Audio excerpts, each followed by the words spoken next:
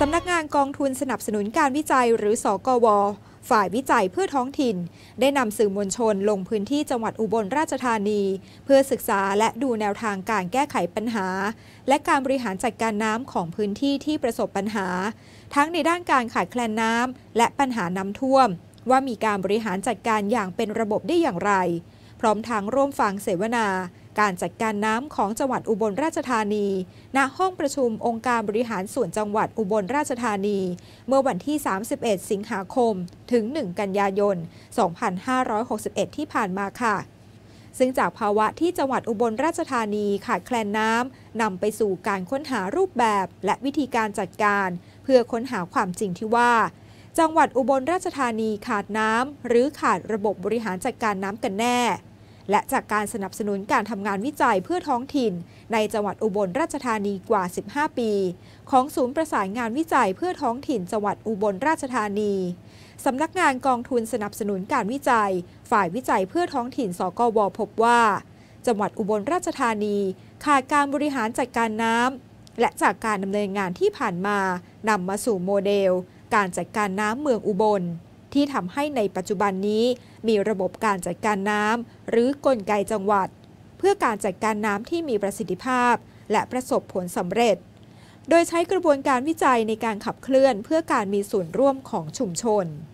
เดี๋ยวเราไปฟังเสียงนะคะ จากทางด้านของนายนัทพลศรีกฤษนายกองค์การบริหารส่วนตำบลสำโรง อำเภอโพไซจังหวัดอุบลราชธานีค่ะ ในส่วนของตำบลสำโรงนะครับอำเภอโพไซจังหวัดวนราชธานีนะครับ ในส่วนของท้องถิ่นนะครับที่จะร่วมด้วยช่วยกันนะครับกับศูนย์วิจัยนะครับของในพื้นที่นะครับหลักๆก็คือชุมชนนะครับรวบรวมมวลชนในพื้นที่ในเรื่องของการบริหารจัดการน้ำหนึ่งเราต้องทำความเข้าใจนะครับกับพี่น้องประชาชน ว่าในเรื่องของงานวิจัยนั้นนะครับที่จะมามาในพื้นที่ นะครับ เราจะทำกันอย่างไรนะครับหนึ่งให้ให้ความเข้าใจกับพี่น้องประชาชนในเขตพื้นที่ก่อนนะสองในเมื่อได้วิจัยแล้วก็คือในต่อมาก็คือในเรื่องของสถานที่สถานที่ที่ที่เราจะวิจัยว่าจะว่าเราจะวิจัยเรื่องอะไรนะถ้าในเรื่องของน้ำนะเราต้องเอาสถานที่หนึ่งได้หัวข้อเรื่องน้ำสองเรื่องสถานที่นะพอได้สถานที่แล้วนะก็ต้องรวบรวมมวลชนที่ มีส่วนได้ส่วนเสียเกี่ยวกับเรื่องน้ำนะครับ มาพูดคุยกัน มาทำทำความเข้าใจกัน แล้วก็เอานักวิจัยนักวิชาการนะครับเข้าไปในพื้นที่นะแล้วก็ให้ความรู้นะฮะแล้วก็ดำเนินการในในส่วนที่จะแก้ปัญหาครับ หลังจากนั้นนะคะได้มีการนำทีมสื่อมวลชนลงพื้นที่ในชุมชนบ้านท่างอยตำบลบุ่งหวายอำเภอวารินชำราบจังหวัดอุบลราชธานี เพื่อศึกษาดูงานการบริหารจัดการน้ำโครงข่ายน้ำเพื่อเพิ่มประสิทธิภาพทางการเกษตรอย่างมีส่วนร่วมของชุมชน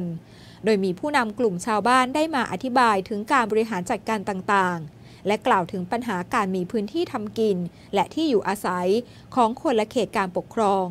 ทำให้ชาวบ้านท่างอยประสบปัญหาในด้านความช่วยเหลือจากหน่วยงานรัฐ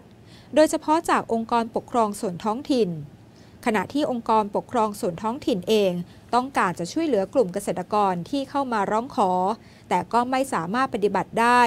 ด้วยการติดเงื่อนไขทางด้านกฎหมาย ความเดือดร้อนของชาวบ้านท่างอย คือเรื่องการกระจายน้ำไปให้ครอบคลุม และทั่วถึงที่ทำกินทุกแปลงของชาวบ้าน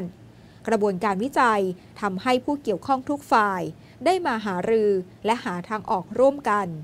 โดยมีเป้าหมายอยู่ที่ชีวิตความเป็นอยู่ของชาวบ้าน เมื่อองค์การบริหารส่วนจังหวัดอุบลราชธานี จับมือกับมหาวิทยาลัยอุบลราชธานี มหาวิทยาลัยราชพัฒอุบลราชธานี และสกวดำเนินงานวิจัยภายใต้โครงการความร่วมมือด้านการจัดการน้ำ โดยมีการสนับสนุนงานวิจัย เรื่องการบริหารจัดการโครงข่ายน้ำ เพื่อเพิ่มประสิทธิภาพทางการเกษตร อย่างมีส่วนร่วมของชุมชนบ้านท่างอยตำบลบุ่งไว้อำเภอวารินชำราบจังหวัดอุบลราชธานี เพื่อศึกษาลักษณะพื้นที่แหล่งน้ำและศักยภาพของแหล่งน้ำในการทำการเกษตรของชุมชน เพื่อนำไปสู่การจัดการน้ำเพื่อบรรเทาการขาดแคลนน้ำของเกษตรกรบ้านท่างอย ซึ่งกระบวนการวิจัยนะคะ แบบมีส่วนร่วมประกอบไปด้วย ชาวบ้าน นักวิชาการ และเจ้าหน้าที่ จากองค์การบริหารส่วนจังหวัด ไปทบทวนและทำความเข้าใจวิธีการทำนาของชาวบ้าน